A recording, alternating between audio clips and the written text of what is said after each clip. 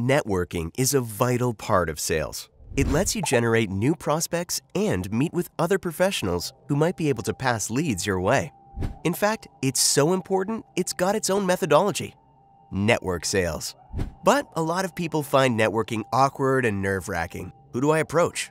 What do I say? And do I sound too pushy? These are all common questions. So, how do you confidently tackle networking in a way that's going to be effective?